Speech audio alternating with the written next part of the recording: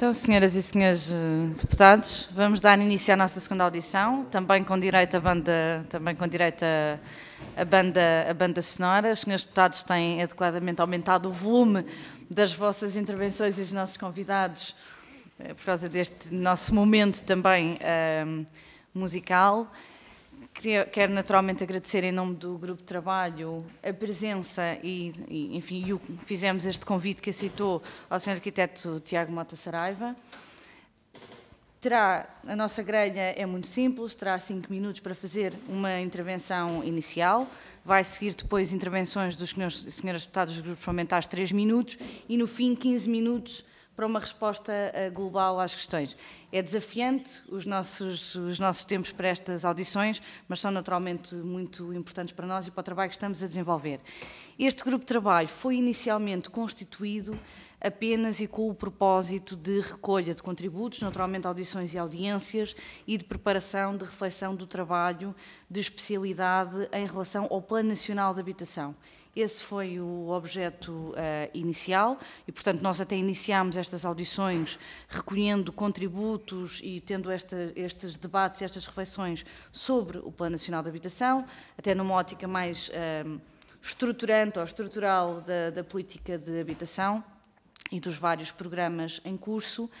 Obviamente que depois com a apresentação de um programa e de um pacote de medidas do Governo, a que seguiu também naturalmente um conjunto de propostas e que ainda surgirão certa, certamente outras dos grupos parlamentares, vimos a natural necessidade, quer para as entidades e as pessoas que convidámos e queríamos ouvir, quer dos senhores deputados, de alargar o âmbito deste grupo de trabalho, portanto agora é o grupo de trabalho de habitação, para uh, tratar da especialidade e do processo legislativo de todos estes diplomas, do Plano Nacional de Habitação, outros projetos que os grupos parlamentares têm e todo este pacote de medidas.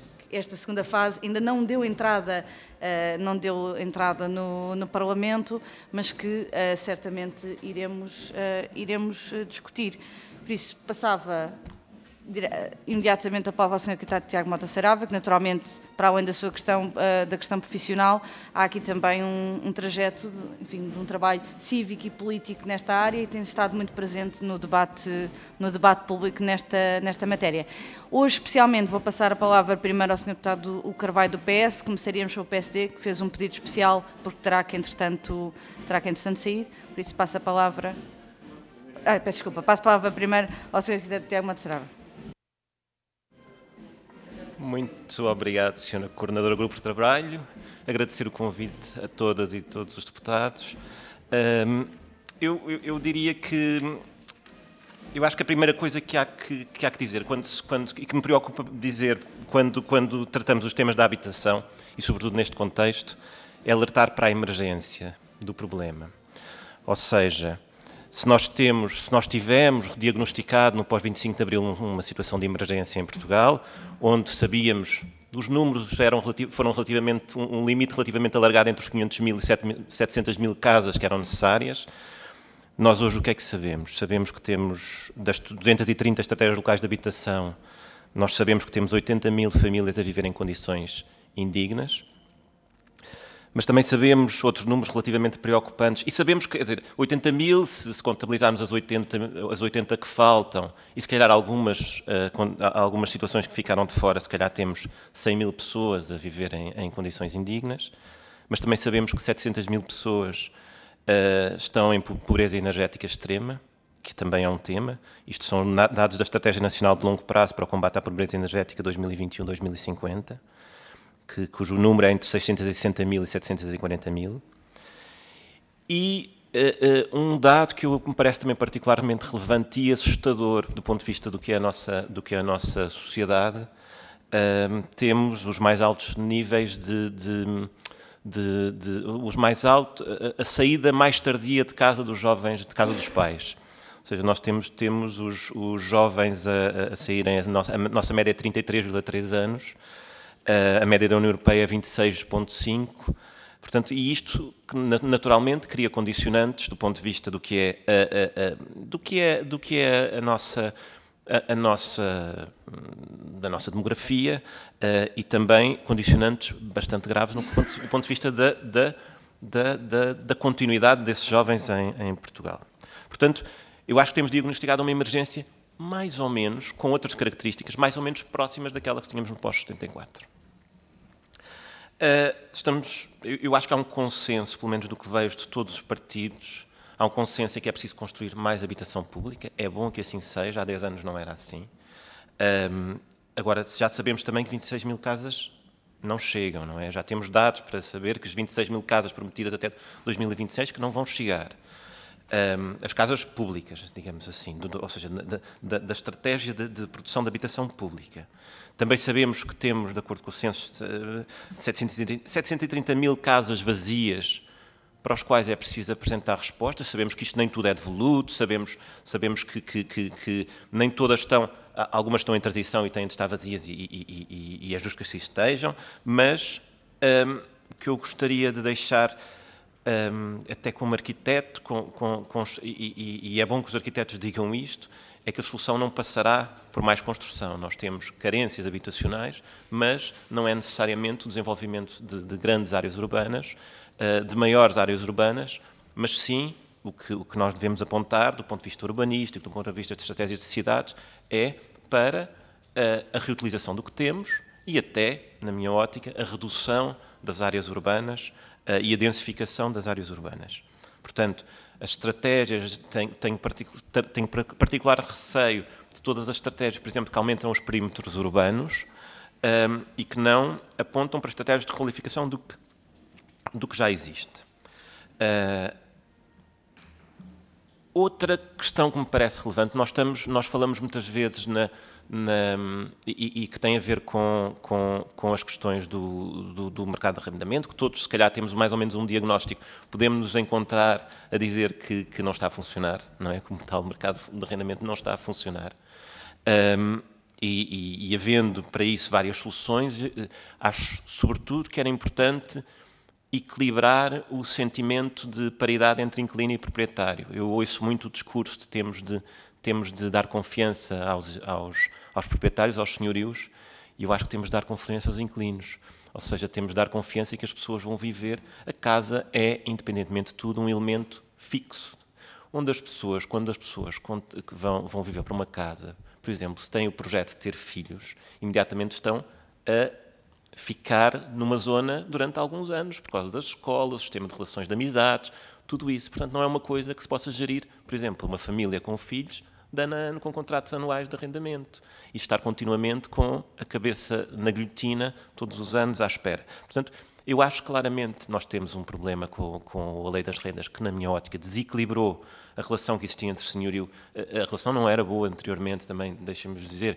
Não sou, eh, de modo algum, favorável a congelamentos de rendas. Acho que isso até é, é, é a manutenção de. Normalmente é a manutenção das injustiças, do sistema de injustiças. Mas sou muito favorável, por exemplo, ao estabelecimento de tetos de renda, como fazem outros países europeus e como, acho, mais ano menos ano, nós vamos ser forçados pelos inquilinos a, a, a, e bem a realizar.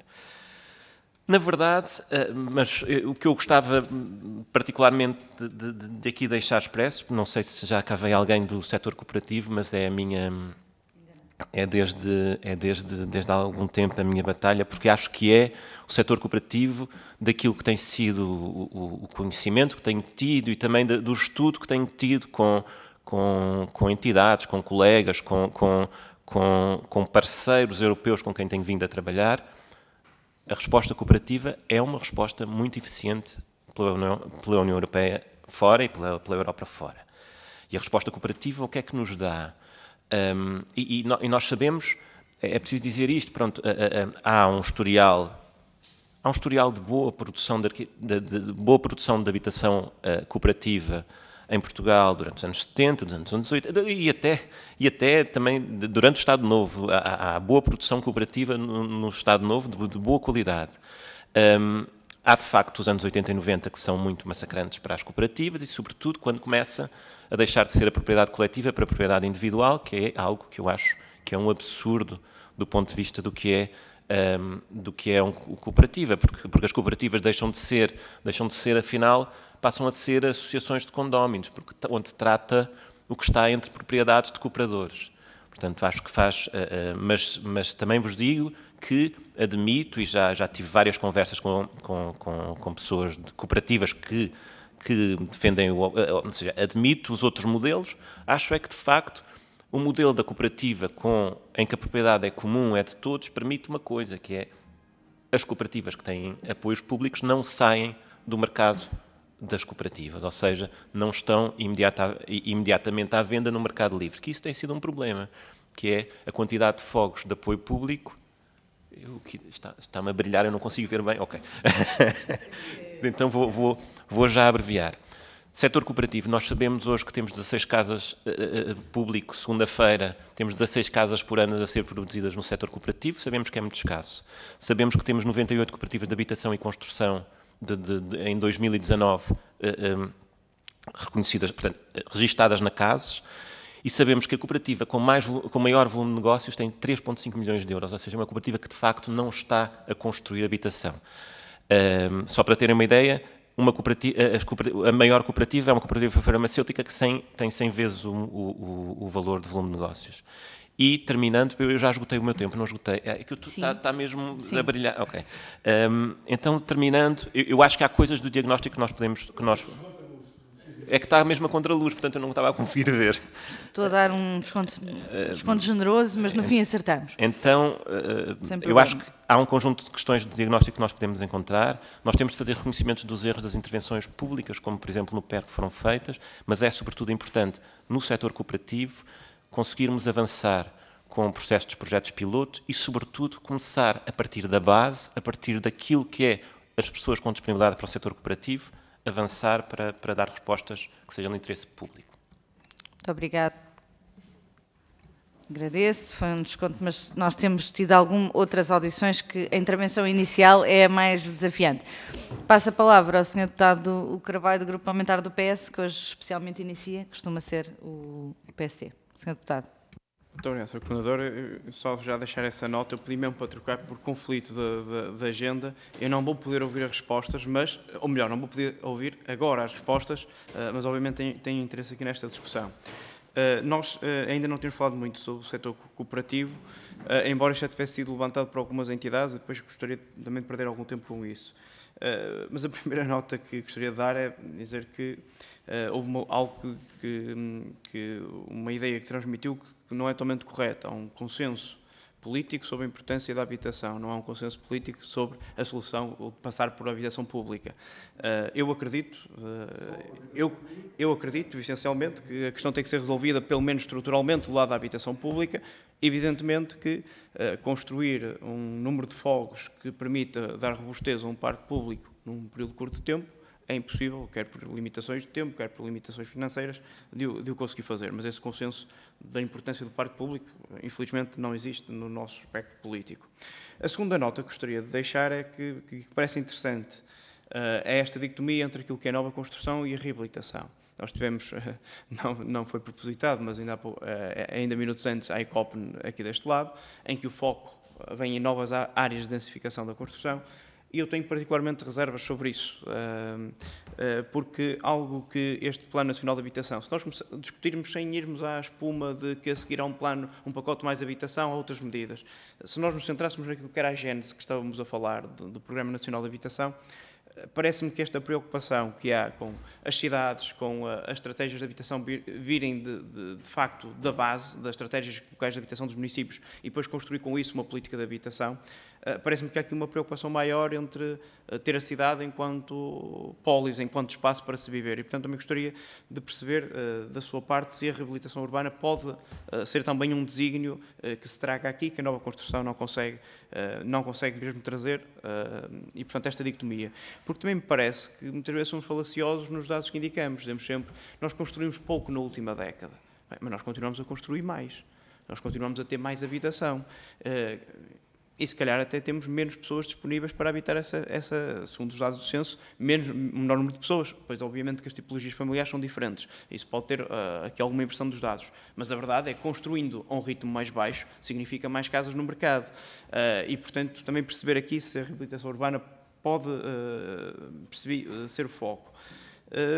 deixar uma nota ainda relativa às cooperativas, foi, aqui, foi aqui referido que a medida 20 do Plano Nacional de, de Habitação, fala das cooperativas de inclinato, concordando, concordando em absoluto consigo que nós temos um modelo de cooperativas, mas depois, uh, se as pessoas venderem esses mesmos, um, perde-se o efeito do, do, que se queria, do que se pretende, uh, perceber de que formas é que nós podemos reforçar e se as últimas propostas apresentadas já vão ao encontro dessa expectativa de reforçar o modelo cooperativo e, e se cria verdadeiros instrumentos para que uh, as cooperativas possam mesmo funcionar e ser uma alavanca neste processo. E, por fim, deixar aqui uma nota se uh, as cooperativas podem servir não só para nova construção, mas também se poderemos usar o modelo das cooperativas para a reabilitação urbana. Eh, nessa mesma, em trocar nessa Obrigada. mesma questão da reabilitação. E pedindo desculpa, mas eu vou ter mesmo, mesmo que me ausentar, uh, mas farei questão, obviamente, de ouvir estas questões. Estará aqui também o meu colega do Partido Socialista.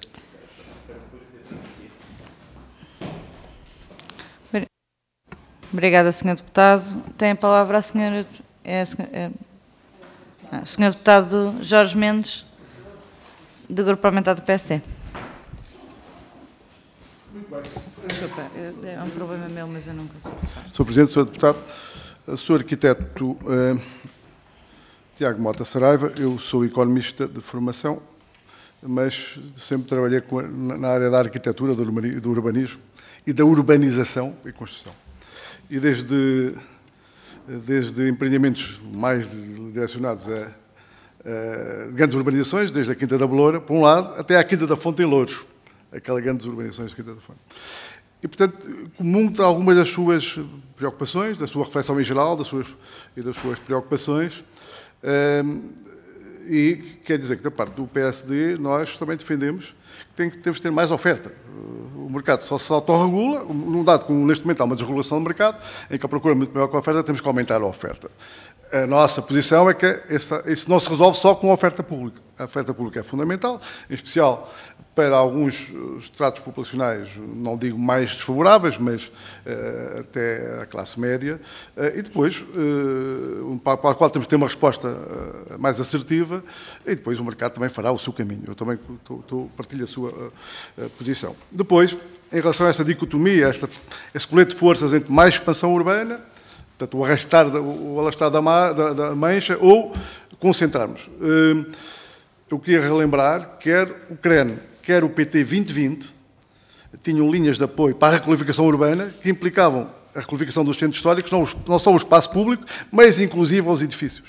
No PT 2020, no PT 2030, que foi aprovado há pouco tempo e que entrará em vigor, para os quais estamos ansiosamente à espera dos avisos, em especial os municípios, eh, era expectável um reforço da verba para a requalificação urbana que envolvesse mais edificado e parece que, parece que ficamos muito aquém do que era desejável.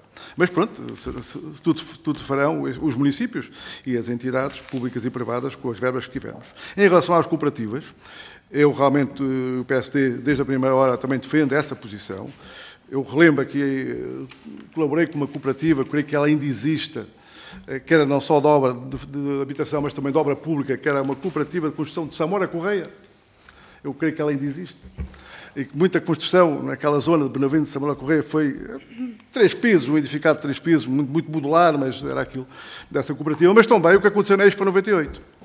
A grande parte da construção, bom dizer que era diferente, os cooperantes eram diferentes, eh, juntavam-se com um objetivo. Mas o que é que facto é que foram ao mercado, compraram os lotes, estavam disponíveis. Realmente houve aqui uma, uma grande urbanização da, da, Parque Expo, do, do, Estado, digamos assim, e, e, realmente havia lotes com preço preferencial para uh, os, os, os, cidadãos que se uh, juntassem numa cooperativa. E o que é facto é que uh, muitos dos lotes, ou um número significativo dos lotes, foram construídos por cooperantes. E realmente os, os imóveis mantiveram-se a sua posse, de acordo com a regra, durante alguns anos. Não sei se depois há uma, há uma, uma participação, mas também na altura não havia esta euforia do mercado como há agora, porque logo a seguir a 98, 2000, tivemos aqui um pequeno, uma pequena crise e também não havia realmente esta pressão do mercado como ela existe hoje.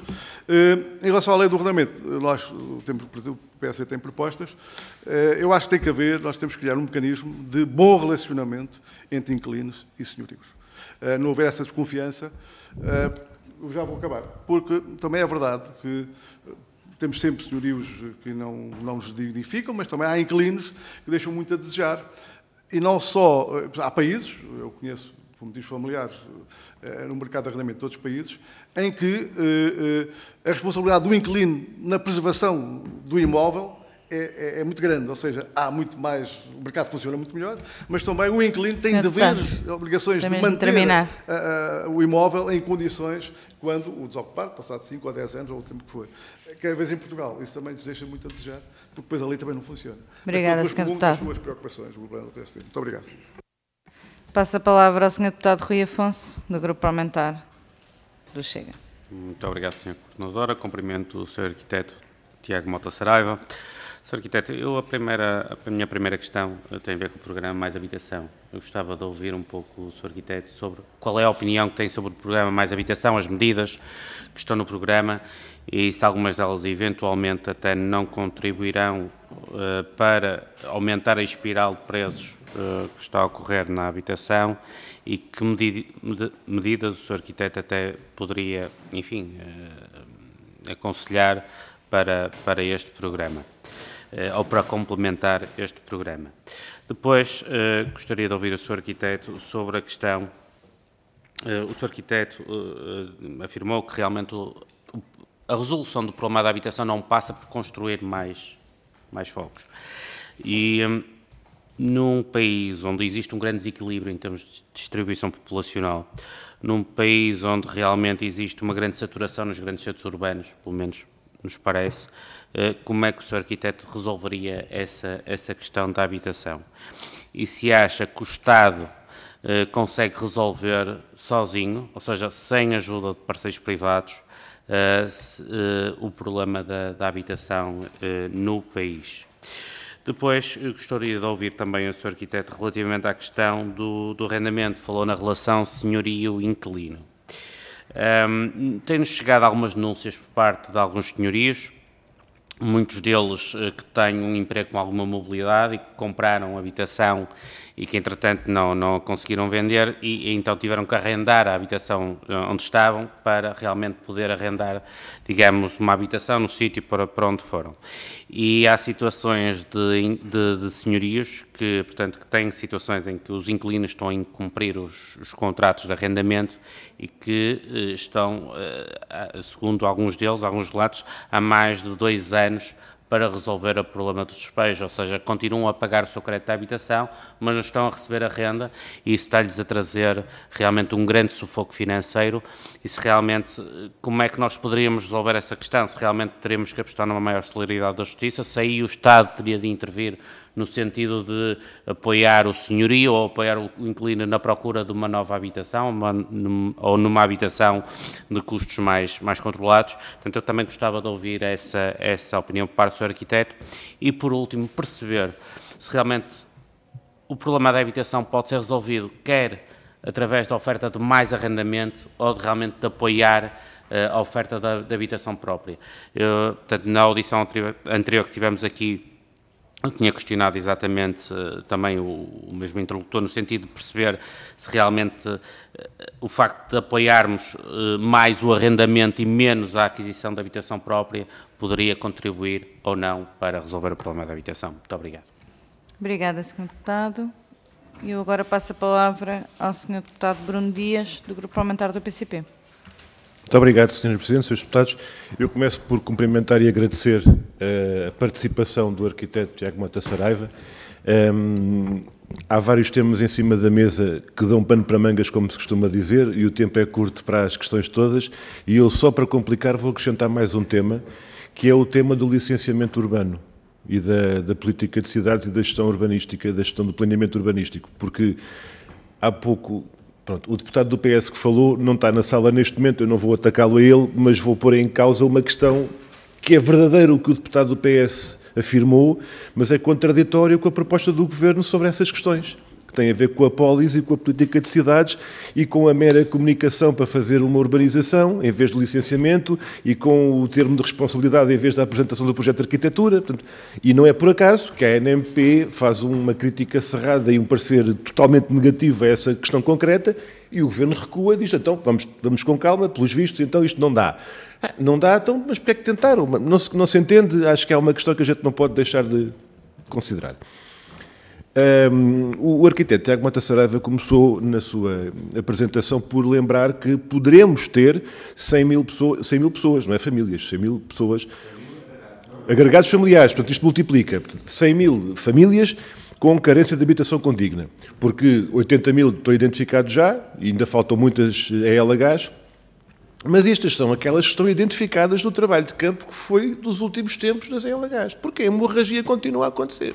E continuam a sair muitas pessoas das suas casas que no tempo em que o trabalho de campo da LH foi feito, nem passava pela cabeça essas pessoas que iam ser expulsas das suas casas. E eu estou a dizer expulsas, não estou a dizer despejadas. Porque basta chegar o contrato ao fim, recebe-se a famosa carta e o meu amigo tem até ao fim do dia, tem até ao fim do mês de tal para ir embora porque o contrato acabou.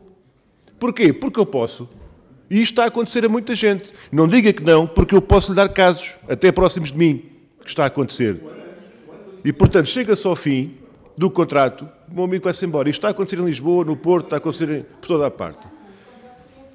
E, portanto, isto significa... E, portanto, ouvir, isto significa acabar que de ouvir se... a intervenção do Sr. Deputado Dias. Muito obrigado. E, portanto, isto não se trata de um despejo. Isto trata-se de, um de um fim de contrato que não é renovado. E, portanto, basta dizer agora, o meu amigo está a pagar 600. Se quiser pagar mil, continua. Senão, eu tenho aqui quem queira pagar mil. E é isto que está a acontecer nas cidades. Portanto, isto não é propriamente, digo eu, um problema de falta de confiança do proprietário, nem sequer um problema de receio da conservação do locado, que é um tema que às vezes aparece. Não, é que enquanto eu puder encontrar quem pague mil, eu prefiro ter quem pague mil do que quem pague 400. E é isto que está a acontecer.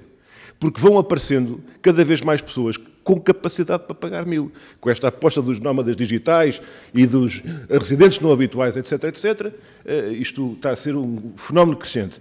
E, portanto, o que está em causa com estas 723 mil casas vazias, e muitas delas, umas são devolutas, outras não, outras estão em transição, etc. Mas há aqui um fenómeno de acumulação de estoque. Neste momento, está à nossa frente um fenómeno de acumulação de estoque. Como se estivéssemos a falar de peças de automóveis. Ou se estivéssemos a falar de, de outra matéria qualquer. Só que isto é habitação que as pessoas precisam. Nós temos dito uma coisa, não faltam casas, faltam é casas que as pessoas possam pagar. E eu gostava de convidá-lo a comentar esta questão. Hum, construção versus reabilitação urbana. Neste momento, eu acho que o dilema já passou. Esse dilema colocou-se na última década, na próxima não vai ser esse o problema, porque as casas estão aí. E e eu gostava de deixar este desafio, digamos, relativamente à- à- à- às questões que estão colocadas nesta, nesta, nesta discussão. Muito obrigado. Obrigada, Sr. Deputado. Sr. Deputado. Não, essa era uma pergunta muito técnica eh, na sequência de um, de um assunto que o Sr. Deputado levantou. Acho que eh, a pergunta é técnica, não é política. 30 Sr. segundos. Deputado, mas é que tinha que permitir a todos os outros senhores deputados colocarem mais questões nesta fase. Sr. Deputado, vou permitir, mas depois permitirei aos outros senhores deputados também fazerem o mesmo. Sr. Deputado. Eh, o Sr. o Sr. o Sr. Arquiteto, na sua qualidade de professor, arquiteto, acha aceitável, eh, um- durante, um, durante um determinado período de tempo, que, por exemplo, que nós deixemos de impor, ou que as entidades licenciadoras deixem de impor a obrigatoriedade de construir estacionamento nos edifícios em Lisboa, por exemplo, ou nas grandes cidades, desonorar essa obrigação durante um período transitório. Obrigada, É só, Sr. muito Deputado. obrigado. Sr. Arquiteto, tem a palavra. São 15, 15 minutos. São muitas questões, mas... São, são muitas questões e, e deixem-me eh, deixem-me dizer que temos aqui um bom, um bom leque de, de- de questões eh, transversais. Eh, o, o, o, o- relativamente ao Sr. Deputado o, Carvalho, eu diria a importância do parque público, e da, da produção desse parque público é, sobretudo, determinante na inversão da lógica, da lógica que, que, nos, que tivemos durante muitos anos, nos, nos- sobretudo nos últimos, até aos últimos 10 anos, onde, por exemplo, a lógica do, do, do parque público era a lógica da venda, da venda dos fogos. Isso está-se está-se- está-se a criar um problema enorme neste momento, por exemplo, nas reabilitações, em vários bairros onde temos estruturas de propriedade completamente esburacadas entre privados, privados sem capacidade às vezes para fazer a reabilitação, o Estado, e neste momento não se consegue, não, não se consegue operar. Hum, eu diria, eu diria que há uma questão fundamental que também, e isso é uma coisa que nós temos de aprender do passado, dos erros do passado, e temos de terminar. É parque público, é para ficar, é, é para ficar público, nós não vamos vender. Uh, outra questão tem a ver com o seguinte, tem a ver com aquilo que eu referi no final, quer dizer, os erros do PER. É preciso que se perceba, por exemplo, um dos grandes erros do PER é entender que, uh, uh, entender que, que, que, a construção de, de, de, habitação era um problema, era um problema a tratar entre construtoras e, e, e o Estado. E que, e que bastava, no fundo, criar, criar aqueles, aqueles blocos, unidades, unidades habitacionais, aqueles blocos nas periferias, nos, nos, nos terrenos mais baratos, e depois uh, pôr lá as pessoas. Uh, isso, e, e, que não era, sobretudo, uma coisa que é fundamental perceber, é que o, a, a, questão da, o, o, o, o, problema da habitação normalmente revela, revela ou esconde um problema social.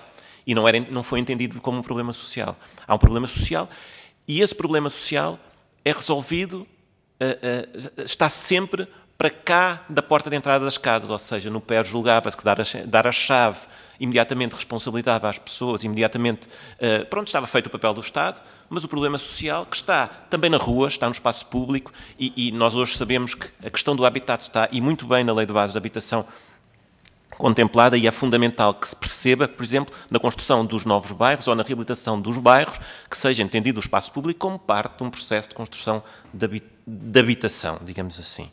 Isso é muito claro na lei de base, está a ser menos claro neste momento, no, no, por exemplo, em processos como o primeiro direito, e devia ser mais claro. As cooperativas, eu acho fundamental nos termos do que está, do, do que está, do que está descrito no, no, no, Mais Habitação. Agora, eh, tudo, tudo, tudo, no que está, o, o que está escrito no, na proposta de Mais Habitação, que ainda, que ainda, que ainda se conhece pouco, é a questão dos projetos pilotos e eu acho fundamental isso. Ou seja, é fundamental perceber-se, não entrar na lógica eh, assistencialista, aliás, como várias das, das, cooperativas, por exemplo, de Lisboa, já têm, já têm vindo dizer a público e de, e, e de alguma forma colocando-se contra, por exemplo, o processo que está a acontecer na Câmara de Lisboa, que é um processo totalmente feito de cima para baixo, onde a Câmara diz, vocês, nós vamos, eh, têm dificuldades em fazer licenciamentos, nós fazemos licenciamentos, nós fazemos projetos de arquitetura e entregamos às cooperativas projetos de arquitetura. Não faz sentido. As cooperativas implicam novo, novos novos modelos de habitar. Implica que haja uma parceria grande entre os cooperadores, entre as pessoas que estão a produzir as casas e as pessoas que as estão a desenhar. Portanto, a sua associação é fundamental. E é fundamental que se perceba, o movimento cooperativo tem de, tem de vir de baixo. O Estado tem de estar disponível para ouvir e para o fazer sobressair. E não tanto determinar, isto tem de ser de cima para baixo, como está a ser feito em Lisboa e como as cooperativas de Lisboa estão. Nós corremos o risco de estar, de estar até a ficarem, os concursos ficarem vazios de cooperativas. Um, temos, de aumentar, temos de aumentar a oferta, claríssimo, Sr. Deputado, temos, temos de aumentar a oferta, mas uma oferta que seja uma oferta de, de, de, de alguma forma de um mercado regulado. E nesse sentido, nós o que temos aqui um grande problema, nós, nós temos um problema na comparação com a Europa, nós aparecemos sempre nos gráficos na, na, da habitação pública, na, de, no, que tem muito a ver com, com um problema de, de, tradução também. Social housing, por exemplo, em, em, na Holanda, não é bem a mesma coisa do que nós entendemos cá. Nós, nós habitação social housing, nós traduzimos para habitação social e habitação pública.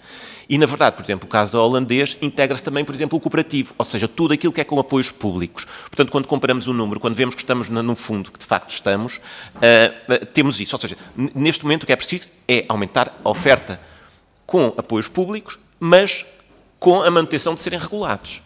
E regulados quer dizer que não são rendas especulativas, que são rendas reguladas de acordo com a inflação e tem de se perceber as cooperativas, quando, e aí, pegando no seu exemplo do, do que aconteceu na Parque Expo, é inadmissível que tenha havido tanto apoio público e agora esteja no mercado completamente liberalizado, ou seja, que aquelas cooperativas estejam todas elas a, a, a, aquelas casas com apoios públicos estejam todas a ser vendidas uh, como se fosse, como se não tivessem tido apoios públicos. E isso é uma coisa que nós temos desde já de, de, de, de, inscrever o ónus, ou seja, se tem, de inscrever o ónus dessa, dessa propriedade, se tem apoios públicos, esta propriedade tem, uh, uh, esta propriedade tem, tem, só pode, tem, tem, tem uma, tem ou uma, ou uma renda regulada, ou só pode ser vendida pelo valor X de acordo com a inflação e não sai desse mercado regulado. Nós temos muita falta de um mercado regulado uh, e, como dizia o Sr. Deputado Bruno Dias, uh, temos, temos um mercado completamente liberalizado nesse, nessa ótica e já, já, já tento, tento ir a essa questão que levantou. Sobre a questão dos estacionamentos, totalmente de acordo, estamos de acordo. Ou seja, neste momento, nós aliás temos, temos um quadro de, de, de instrumentos de gestão territoriais com, com uma lógica de, de, estacionamento absurdo neste momento para a realidade. Nós temos a produção de habitação dentro das cidades com, com uh, estacionamento absolutamente... Uh, tem, é, é, problemático porque estão, estão inscritos no nos PDMs, portanto isso implica suspensões dos PDMs. Eu não sei como é que isso juridicamente se poderá ser feito, mas sim, eu, por exemplo, acho uma das coisas que, por exemplo, é muito utilizada nas, nas, nas, na, nos exemplos cooperativos de Zurique, é, é, é, é que grande parte, da, da, grande parte das unidades cooperativas de Zurique dizem, os próprios moradores dizem abdicar de ter o seu lugar de estacionamento que teriam direito no centro de Zurique e, portanto, podem ter carro, têm, têm o carro no estacionamento fora, sabem que não têm estacionamento gratuito nos centros. Isso acontece, por exemplo, isso diminui imensos custos de construção, como é óbvio, e, e também diminui faz, faz outra coisa, que é diminui os custos de manutenção do edifício. Ou seja, edifícios em Lisboa, por exemplo, que, têm, que são muito escavados porque têm grande densidade de estacionamento eh, e que têm de bombar a, a água toda, isso poderia ser uma solução perfeitamente admissível e, sobretudo, sustentável no tempo. Sustentável no tempo. Um, relativamente ao, ao que, que, que, o Sr. Deputado Rui Afonso disse e, e que levantou várias questões, eu, eu, vou pegar, eu vou pegar sobretudo nesta, que é o que é que falta, o que é que falta uh, no programa Mais Habitação? Eu acho que há coisas que vão depender, há coisas, por exemplo, esta questão das cooperativas vai depender muito de como é que vai ser executado, porque nós temos de ter consciência, senhores deputados, isto é um, isto é um apelo de, de, de, de pessoa que está na prática cá fora. É assim, uma lei que vocês produzam aqui, pode não ter qualquer efeito, mesmo que esteja em vigor, porque pode não ser executada, pode não se, pode não se conseguir executar. Portanto, tudo vai depender. Pronto, eh, eh, eu dou, dou exemplo, por exemplo, de uma que, surgiu do Grupo de Trabalho de Habitação há uns anos sobre a questão da eletricidade, da eletricidade do, do, do, do bairro das Terras da Costa, em que nunca se conseguiu, a EDP, a Câmara Municipal da Almada, sempre se recusaram a, a implementar a lei que foi, foi, foi, foi, estabelecida por, por, esta, por esta Assembleia. Portanto, é fundamental neste momento nós conseguirmos começar a trabalhar e começar, começar a executar para depois também irmos fazendo afinações. Eu sou muito favorável, nós não usamos muito isto, eu sou muito favorável à ideia de, de períodos experimentais, de casos pilotos e depois vamos corrigir, vamos desenhando a lei a partir, dessa, desenhando a lei a partir desses, desses casos pilotos, experimentando coisas. Eu nas cooperativas, eu tenho muito trabalho em cooperativas, já vi muitas cooperativas pela, pela Europa fora, eu não vos sei dizer neste momento um modelo de cooperativas que funciona em Portugal. Eu acho que temos de experimentar, temos de começar a ver o que é que, que, que pessoas é que estão disponíveis e como é que, como é que vamos conseguir fazer isto. Um, eh, relativamente, eh, eh, relativamente a, a, distinguir entre o arrendamento e os apoios à proprietarização, eu aí uso, uso o, o, o, a expressão que a minha, que a minha colega e, e, grande amiga Helena Roseta costuma usar.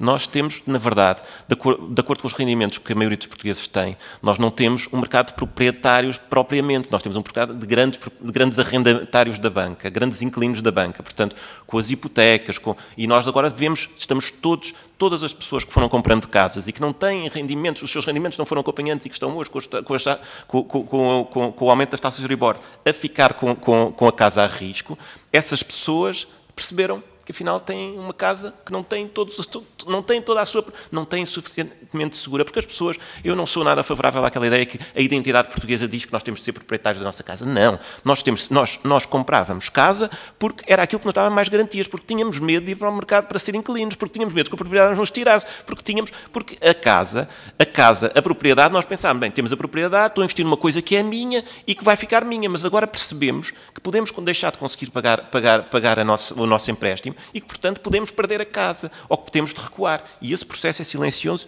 e muito preocupante, porque as pessoas têm vergonha de dizer que, que, que, deixaram de pagar a casa ao banco, têm menos vergonha eh, tem, tem, mais vergonha disso do que não comer duas refeições. E isso é muito preocupante, porque há um, há um valor moral que a gente tem de começar, tem de começar a, a, colocar, a colocar em cima da mesa, que é, não, é, é, é, mais grave não poderem comer, comer as duas refeições quentes do que, do que, do que pagar a, a casa ao banco.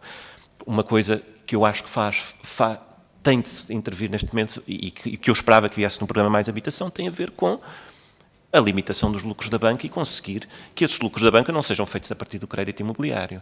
Portanto, essa convocação da banca para também, a, a, a, também de, alguma de alguma forma conseguir mediar este processo que está a ser silencioso, que está cada vez mais a, a, a, atingir pessoas que recuam, que se afastam. São pessoas com alguma capacidade económica, mas que se vão afastando dos seus centros. Afastando dos seus centros, e se tiverem uma, um agrupamento familiar, estamos a dizer que são crianças que vão sendo expulsas de escolas e que vão se afastando dos centros onde viviam e perdendo as suas relações de laços de amizades, de, de, de vizinhança.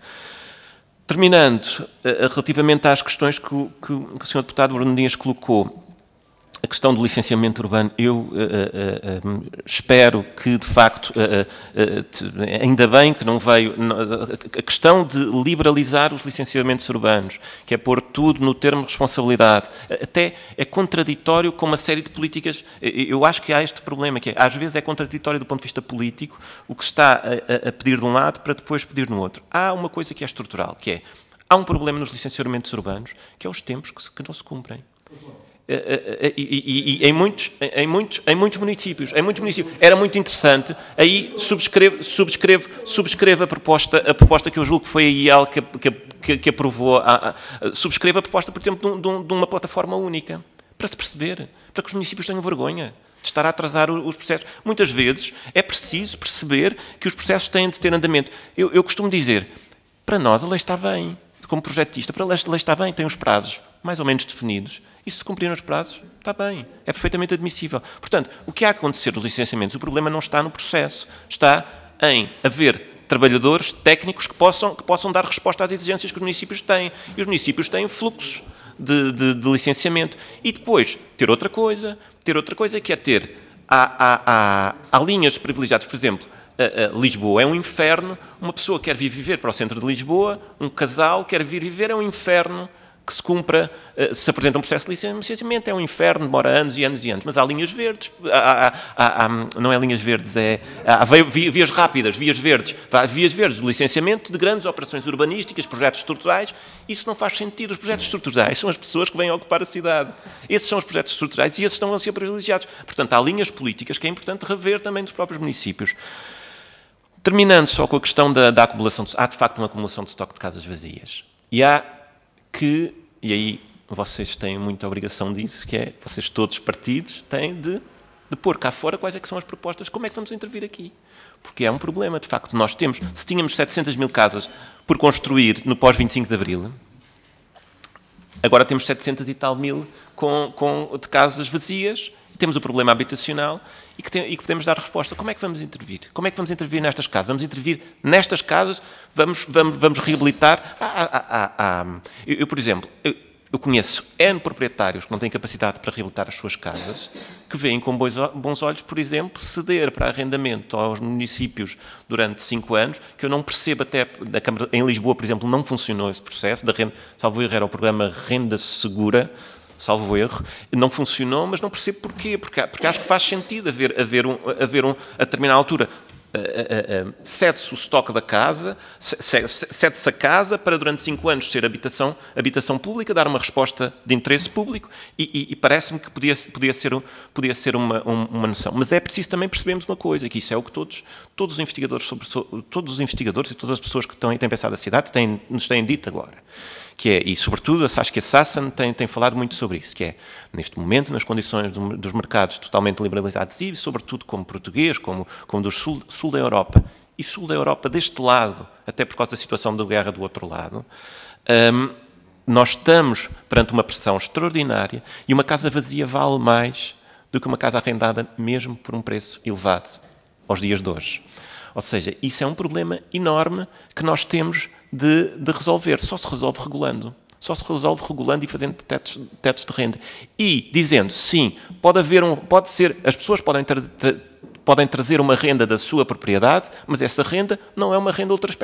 Ou seja, eu tenho de ter em Portugal, para nós, para nós conseguirmos operar, para conseguirmos travar este, este descalabro, nós temos de, eu tenho de saber, se tiver uma casa arrendada por mil euros, tenho de saber que amanhã não posso cessar o contrato com a pessoa que lá vive e que, e, ou, ou, que podendo, não posso alugar por mais de mil e poucos.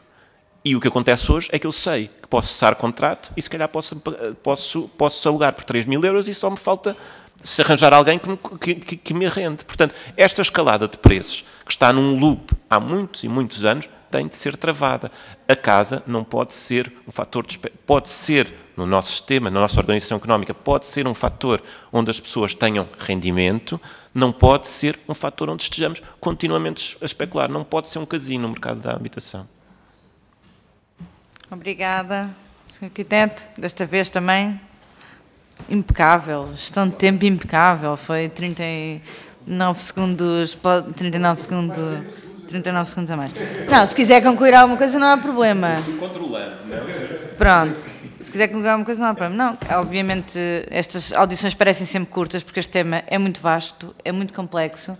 É muito interessante termos também, naturalmente, consoante as personalidades, as áreas, as associações, eh, noções também muito contraditórias de qual é o diagnóstico ou o problema, mas isso também é a riqueza da diversidade de perspectivas e também dos grupos parlamentares. Às vezes também no diagnóstico do que temos à vida, até aqui em algumas perspectivas. Pronto. Mas, sobretudo, nas soluções e, portanto, estas audições têm sido também muito ricas desse, desse ponto de vista, mas queremos naturalmente agradecer o contributo que acho que foi importante para todos os grupos parlamentares. Agora, no fim, podemos sempre também prolongar um bocadinho a conversa, mas de forma eh, informal. E por isso, no fundo, dar por terminada a reunião, se calhar, porque não temos tempo. É importante termos uma reunião ordinária para organizar os nossos trabalhos, mas nós, na verdade, não temos tempo antes do plenário. E, portanto, obrigada às, às senhoras deputadas e aos senhores deputados.